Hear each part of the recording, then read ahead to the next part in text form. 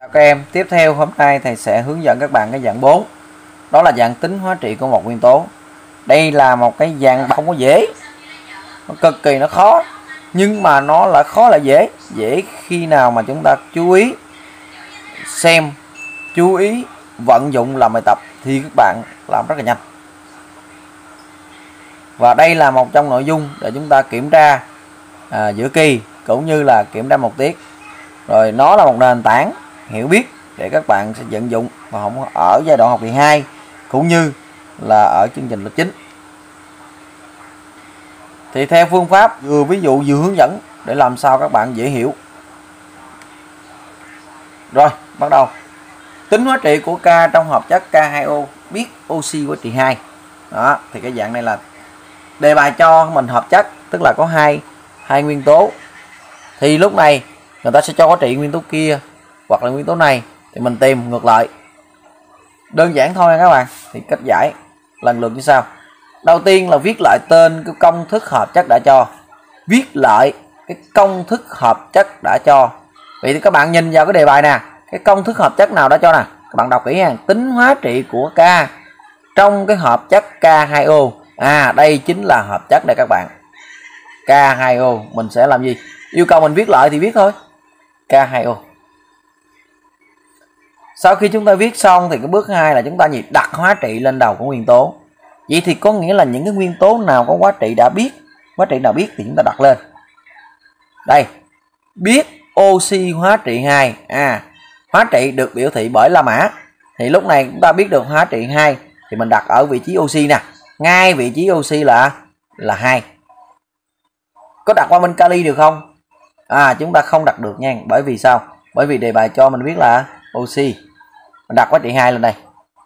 Vậy thì trong cái đề bài này, mình có biết hóa trị của kali không các bạn? À chúng ta không có hóa trị của kali. Vậy thì mình đang đang tìm, tức là yêu cầu tính đây. Thì hóa trị, cái nguyên tố đầu tiên là a. Nguyên tố thứ hai là b. Bây giờ có b rồi thì mình đặt đặt a đặt a chấm hỏi. Theo thứ tự nha các bạn. A, b nè. Đây a đây b. Do b đề bài cho rồi. Đó. Bước tiếp theo, chúng ta áp dụng quy tắc hóa trị. Các bạn nhớ hàng quy tắc hóa trị thì có dạng là a nhân x bằng b nhân y. Tức có nghĩa là chúng ta lấy a này nè, chúng ta nhân với chỉ số của cái trong công thức a. Rồi bằng với hóa trị của cái nguyên tố thứ hai, nhân với chỉ số của thứ hai. Tức là chúng ta thực hiện theo cái phương pháp là mưa rơi đó các bạn. A nè, các bạn mưa xuống là chúng ta nhân hai nè, tương tự ở đây hai nhân số. Đó, chúng ta dùng chéo chéo hành mưa đó các bạn thì lúc này mình có thế vô nè. A nè, mình chưa biết, viết lại. X của a, x của a, thì chúng ta thấy rằng là hai thì thế vô mưa xuống a nhân hai nè. Bằng b, tức là hóa trị của oxy là hai nè. Nhân xuống chỉ số của oxy là một.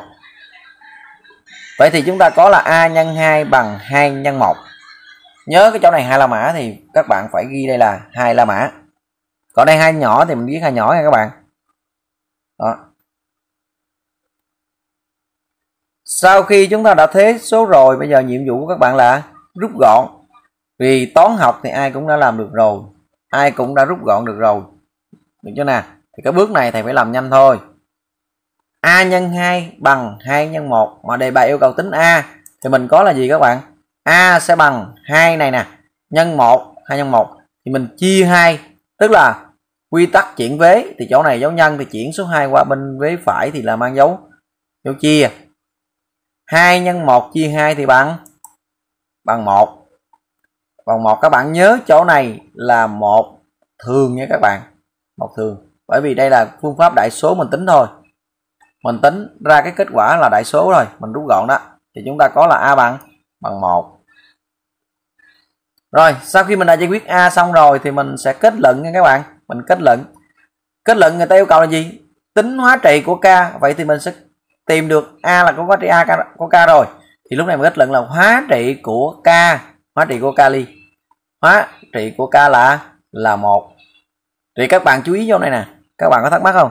Tại sao chỗ này mình giải quyết a bằng một mà khi thầy kết luận bằng số la mã? Bởi vì sao nè?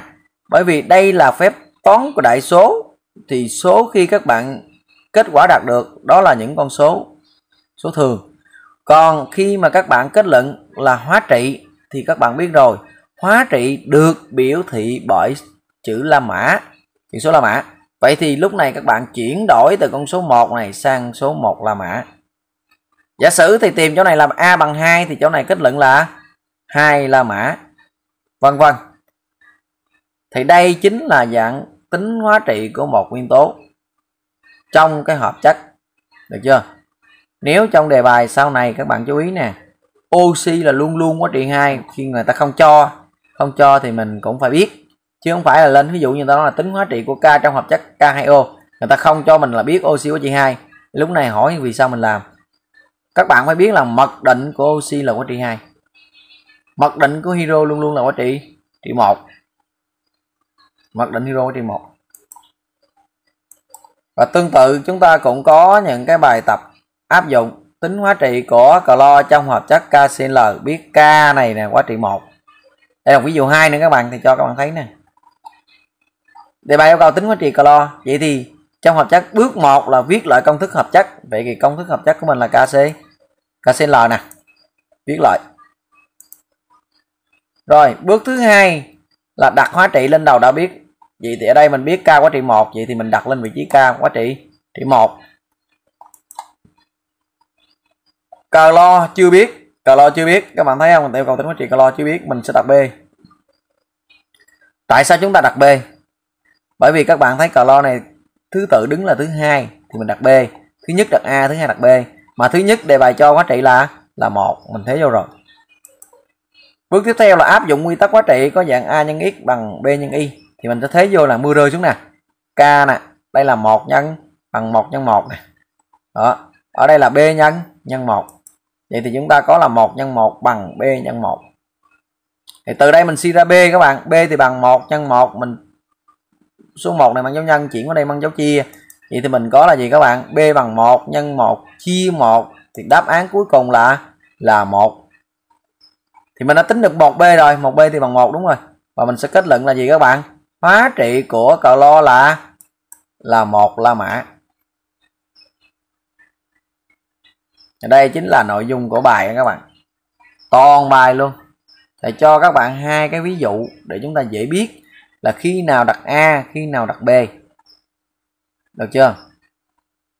Và chúng ta có một ví dụ, một bài tập vận dụng rất là nhiều, rất là nhiều luôn. Từ a tới g, nhiệm vụ các bạn là làm hết cái nội dung này. Hôm nay thầy cố gắng thầy quay clip tranh thủ nhanh gọn lẹ để cho các bạn coi. Còn thầy còn quay cái clip của lớp 9 này các bạn. Thì mong rằng những cái clip này ra, các bạn xem nhiệt tình và các bạn mới làm bài tập áp dụng để làm sao chúng ta đạt hiệu quả cao nhất. Xin chào các bạn.